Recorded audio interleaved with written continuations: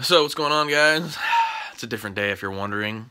Uh, anyways, I just recently uh, received my Red Wings.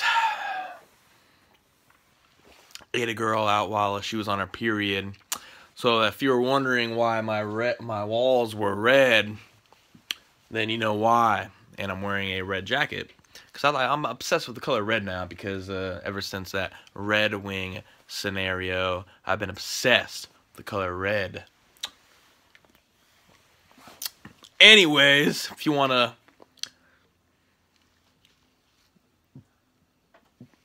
Oh, yeah.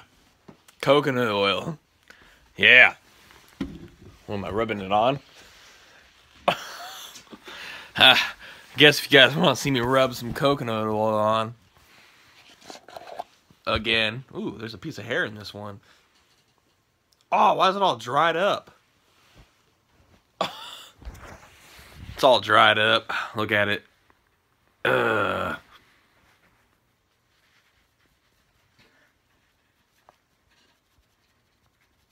Anyways, so uh, yeah, go ahead subscribe for more content.